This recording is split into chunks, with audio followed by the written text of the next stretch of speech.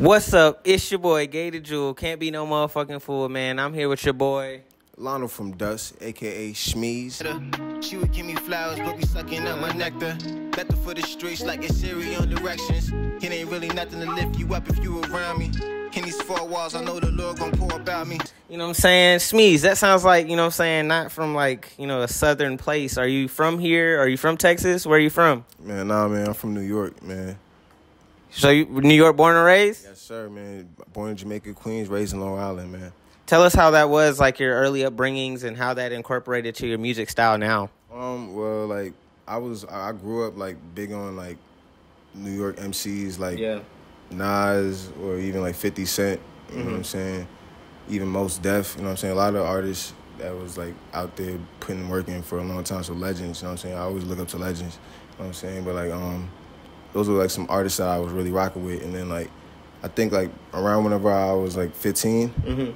I moved out to like, to the south. Like my mom, she I'm saying she wanted to move down to Atlanta, so we went out to the south, and like a lot of my influence kind of started molding when I was still in high school. So that kind of molded my sound. You know what I'm saying for the most part, but like uh, I really I, I'm thankful because like I feel like my sound is kind of diverse because of that. So um, yeah, I'm really grateful for that, bro. But like yeah, it's like it's definitely um, yeah. Everybody say like that's what it is. That's the truth. You know what I'm saying? Uh, so who would your you know your top influential artists like who influenced you the most? You know what I'm saying? Out of everybody, you know what I'm saying. You done traveled the world, basically the United States. You know what I'm saying? So you got different regions. So who is your top? You know what I'm saying? biggest, Who's your biggest influence? my biggest influence? Yes. Um, honestly, I I have to I give it to, to to Mike on a good day. You know what I'm saying? M- Michael Jackson. You know what I'm saying? Rest in peace, Tito. You know what I'm saying? He just died today. You know what I'm saying? Rest in peace. Yeah, rest in, rest in peace to Tito Jackson. He's a legend too. You know what I'm saying? They was all part of a Exactly, Jackson Five. yeah, big five. You know what I'm saying? So Michael Jackson is your biggest influence. Goddamn voice crack. You know what I'm saying? Hold on, we had to. I'm a goddamn do a fake right there, cause goddamn. But yeah, Michael Jackson, big influence. You know what I'm saying? Um, is there anyone, you know what I'm saying, that you would say like, cause when I hear some of your music, it definitely does give like some Mos Def vibes. It gives like some Andre 3000 vibes. You feel what I'm saying? So it's like you kind of in a pocket, but not saying that you're that you're like boxed in. It's just saying that that's where your sound is going. So would you say that? I mean, well, I mean, for the most part, like I, I mean, I, I replicate like a lot of different sounds that I was kind of influenced whenever I, when I was coming up. Like, like, like as an artist, like whatever you um, whatever you've been like molded with while you were growing And up. young, that's yeah. that's what kind of like the material that you use. Yes. You know what I'm saying in a sense. To get yeah, in You know your I'm bag, You know you what I'm saying? grabbing that really- out your You know what I'm saying? So it's like, I mean, I, I mean, I, honestly, I, I'm I'm not ashamed to say. A lot, I know a lot of other people are kind of like scared to like. They want to be like, I'm fully You know original. what I'm saying? I, but like, you gotta I- grab from You know somebody. what I'm saying? I I I started making music because of me, ugly. You know what I'm saying? Like, you know, like, please stop it. You know what I'm saying? Like, we know. You, Somebody else. We know you right. You know. We know you bump YoungBoy, bro. Like that's Yeah. your flow the same, bro. But like, anyways, we're gonna we're gonna move off the topic. But like, anyways, son, yeah. It's like keeping it original, but yet still paying homage. You know what I'm saying? That's what you. That's what you on. You know what I'm saying? There's other people like you just said, sounding just like you know what I'm saying. YoungBoy, he not paying homage. He just jacking his whole style. You know what I'm saying? And I grew up on I grew up on list like listening to like artists who were able or MCs who were able to take like like little parts from other MCs that came mm-hmm. before them and incorporate that with their music Yeah. and still make it like sound original or make it sound like oh shit like some some hard shit or like you know what I'm saying? But they always but the MCs I listen to they always you know what I'm saying shouted these guys out you know what I'm saying? But that's not something that like our generation has, like really gained accustomed to. Everybody think like you know what I'm saying they shit smell better than know what I'm saying The last generation. you know what I'm saying you feel me But everyone, everyone's giving, you know what I'm saying, doing their part to build up, you know what I'm saying, to what is now, you know what I'm saying? So, uh, you know, what would you say like your first song was like? Like what was the name of the song? What was the vibes of the song? You know what I'm saying? Would it be something that you would like play, you still bump, you know what I'm saying, just to listen to like the first creation? Um, for the first creation, you said you said like the, the song I bumped like for the first. Like your first your first ever song that you ever made. Would you still bump it right now? still have replay replay value. Yes. Ah, nah. I'll be honest, it doesn't. But like that song is what song is it? That, that song was pretty hard. We really spazzed on that joint. It was me and my boy Sean. Mm-hmm. You know what I'm saying? Sean Samo, shout outs. Um, who else? You know what I'm saying? Me. It was it was me and it was me and Sean. You know what I'm saying? But but Sean is like a really like he was a real skilled MC whenever I met him. And that was like my, one of my first songs that I really did. It was mm-hmm. called Commas. You know what I'm saying? You can still look it up. I think it's on SoundCloud. You know saying? All right, y'all go y'all go look at that. That's his first creation. It was a feature joint. He had his boy, him and Sean, and who else? Yeah, Lano from Dusk, yours truly. Hey. There you go. Boom. You know what I'm saying? So now that you're seeing you're saying basically it had no repay value now, but how do you feel about your transformation through your musical journey?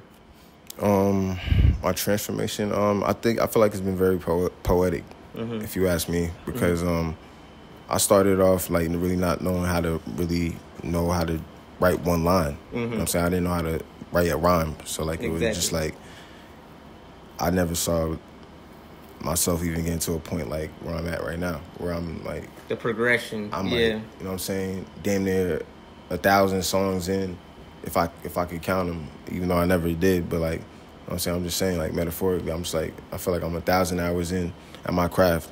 yeah. Know, like They say a a hundred hours is all you need to perfect the craft. you know what I'm saying. I feel like it's more. You know what I'm saying on some Dragon Ball Z shit. You know what I'm saying. What's your favorite Dragon uh, Ball Z uh, character? I'm I'm I don't want to be a, I don't want to be a cornball, but you know I'm rocking with my nigga son Goku, bro. Like you know what I'm saying. We out here, like you know what I'm saying. I, I low key rock the, the orange for Goku, low key, and my designers low key. He said he said it was it was for for you know what I'm And saying. the star right there, low key, Dragon Ball Z inspired a little bit, but like zoom into that on the Yeah, on the right there. That's gonna be the thumbnail. Stay there. Bow. Yeah. Okay. but goddamn. Yeah, but uh, Goku, I, I'm really I'm a big Goku fan, man. He's he's just I, I feel like he kind of just like represents just like pushing yourself to go to the next level and just never quitting. You know what I'm saying? I just I, I, I see myself as that. Like I, I just feel like I'll never have a cap on whatever I'm trying to do, bro. Just keep it original. Keep it true. You know what I'm saying? Just yeah, just I'm always just like carving from like original thoughts and just like original ideas. And I just want original people around me. That's how I'm gonna keep it. Genuine. Got to be genuine. Be around them, man. That's what he's saying. You got any like uh, got any songs that you're like, damn, I should release this. You ain't never released it yet. Cause you know, I know there's ones that you know artists like to hide shit in the chamber, way deep down, and wait for it, and wait for a perfect moment. So I had to ask, like, you got like, I know you got a banger in there, way back in there that you just holding on to. Of course, of course, of course. You know what it is, man. All artists do. you know what I'm saying? All artists do. I'm not the only one. You know what I'm saying? It's not just like the the Cardi effect or whatever the case might be. You just waiting on the perfect time. Nah, yeah, bro. It's just like I, I know I got like timeless music. And I'm not just trying to put it out and then just go to the void. It might, it might, yeah, exactly. It might be too ahead of its time that you have to wait till other people catch up. And, and it also might be insecurity, but like you know what I'm saying. But as an artist, that's like type of things you gotta conquer to like get to the top. Yeah, you versus you. You know what I'm saying? all, all legends got to go through it. You got to just figure out execution and timing. Speaking of uh, making music, you know what I'm saying? Uh, what would be like your best advice for people that have, uh, you know, writer's block or, you know what I'm saying? What, cause I've, I, I'm going to start asking this question more and more cause I want to know what other artists are going to say. What is your remedy for writer's block? Remedy for writer's block. Um, sometimes, I mean, it's really a cure, or if you, or if you're really not doing too much, you could just, you just um really just stop and just focus on what you really gotta focus on. You know what I'm saying? There's a reason why something like something's blocking It's not letting it flow. You know what I'm saying? There's something blocking that. So like maybe you gotta stop and like invest. Doing whatever you're doing. And that's in some cases. Or sometimes you just gotta keep put a rewind on stuff that influenced you in the beginning and get that So like a refresher, you basically like saying go back to the basics, hit, you know what I'm saying, all your bases and, you know what I'm saying, refresh yourself. But, but like it's, it's two options that you got in my case. You know what I'm saying? I mean, in my um opinion, you know what I'm saying. So like, you could, you could pick from those two you really feel like you got to do it. Sometimes you got to stop and just chill out and just let life flow. Yeah, cause I had one guy tell me he said I just keep making music till some hit, and he's well he don't write, so I guess he can't have writer's block, but he punch in. But goddamn, you know what I'm saying? Like you gonna have a lot of fucked up music. You know what I'm saying? then you hit one, you like damn. I just made five songs about the same shit. But you know what I'm saying? Teach his own, you know what I'm saying? Somebody also said you gotta go live life. Go live life. Yeah, that's something like I think Cole said something. I think Cole said something like that, man. I don't know. Cole must have said something like that. Gotta go get exposure to new shit, you know what I'm saying? Can't have the same shit. Like he said, refreshers, you know what I'm saying? Um, you got a EP or a project that's gonna drop? You know what I'm saying? You got a music video or something? No, there's something. Really, I I'm not gonna lie. I got this one. I got this one like project I've been lucky trying to um trying to come out with. It's called Night and Shine, Shining Armor. Mm-hmm. But like I got this other joint that I want to low key drop before it. It's called Kind of like set it up. yeah. It's, it's called In the Air. Like what's in the air Yeah. type shit. Some Beanie Sigel. Yeah. well, like yeah, just like those two projects. Shit, you know what I'm saying? I need a, you know what I'm saying, some wise words from the man himself. Go ahead, give us some not music advice, just advice, general life. You feel what I'm saying? Because everyone needs a pickup, you know what I'm saying? Everybody needs to hear something nice, you know what I'm saying? Some some shit to get them focused, locked back in, you know what I'm saying? If you're an artist, you know what I'm saying, he finna lock you in. Um, faith without work is dead. You know what I'm saying? If you don't put that work in, and you praying at the same time, what you doing? You know what I'm saying? It's like you, it's like you still, you still being a freeloader. You know what I'm saying? That's still like a way of freeloading, bro. So just like work towards whatever you praying, and it's gonna actually happen. You know what I'm saying? God is real. That's one.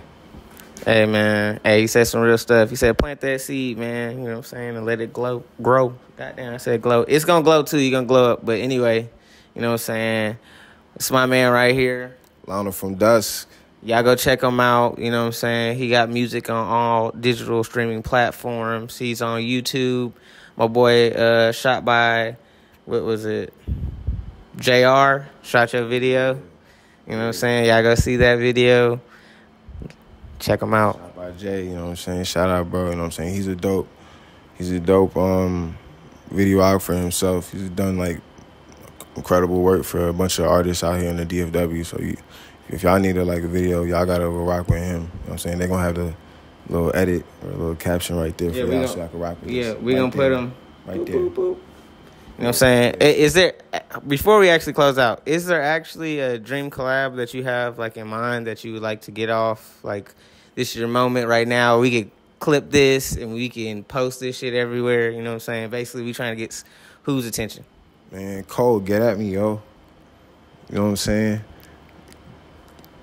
Cole, get at me. What up? Hey, he being straightforward. Okay, you know what I'm saying? So, J. Cole, hit us up. Hit Lando up. You know what I'm saying? Get Lano, excuse me. I'm so sorry. You know what I'm saying? But yeah, you know what I'm saying? Get my man, hit him up. You know what I'm saying? Let's get some work done. He hard. You know what I'm saying? Music tough. You know what I'm saying? Very um, introspective. It's not like just surface level music. You feel what I'm saying? So, y'all go check this man out, man. Very deep, very uh, intellectual human being. You know what I'm saying? Peace.